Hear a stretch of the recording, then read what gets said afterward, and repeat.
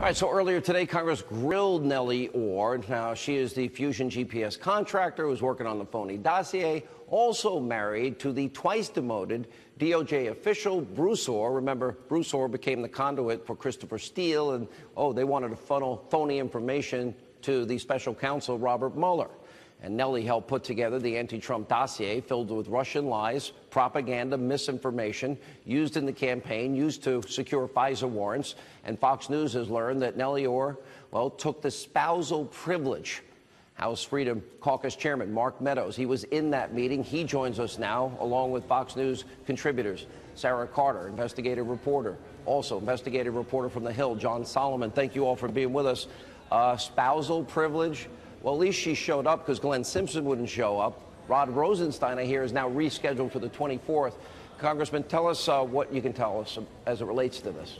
Well, obviously, the details of that particular interview are not something that we're sharing publicly, but but your lead-in is exactly right. Uh, we, we, were trying to get to the connection between Fusion GPS and Glenn Simpson, uh, the ones who hired Christopher Steele and others to do the dossier and ultimately the go-between, uh, which was, in our opinion, at times Nellie Ohr to Bruce Ohr at DOJ and then to the FBI. And so a lot of the, the communication, uh, she was actually a cooperative witness, but when it got down to the real details, she either didn't recall or they invoked a, a privilege that would uh, say that the intimate conversations between a husband and wife uh, could not be divulged and, and, uh, and certainly claim that privilege. So I don't know that okay. we learned a but whole it was lot the dossier new. she worked on that Clinton paid for that was used to, well, propagandize the American people with lies before the election and then used later as a weapon to try and bring the president down. And of course, that was all part of the media leak strategy, the insurance policy to get the special counsel appointed. Sarah Carter, let me let me go to you. Uh, you look at they are being uncooperative, not allowing people like like our friend Mark Meadows here to do his job, which is oversight. They keep refusing to turn over documents. They lie in the name of national security, and they've been proven to lie.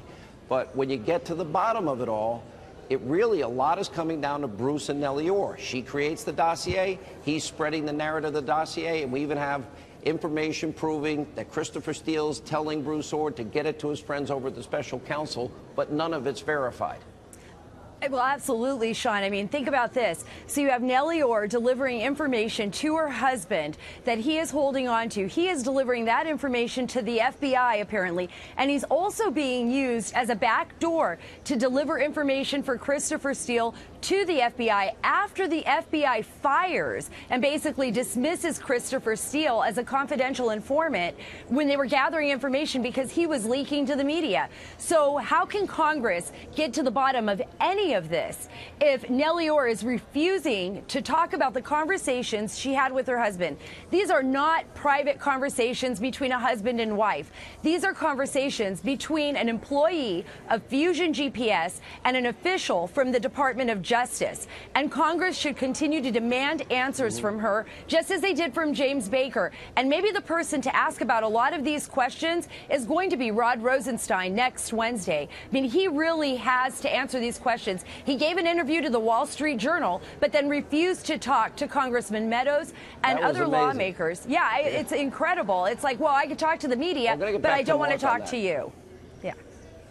Uh, and, and I'll, I'll, let you weigh in on this, John Solomon, but also you had a big breaking story yesterday that all, there's you, you were able to discover all these junkets yeah. that DOJ, FBI guys were taking from special interests and it seems one of the biggest beneficiaries, even during his time working for Mueller, if my timeline is correct, would be Robert Mueller's pit bull, Andrew Weissmann. Yeah, of course, he's trips. the guy that was overturned 9-0 in the Supreme Court, lost tens of thousands of jobs at Enron Accounting, put four innocent people in jail for a year, overturned by the Fifth Circuit. Really? He's taking junkets paid for by?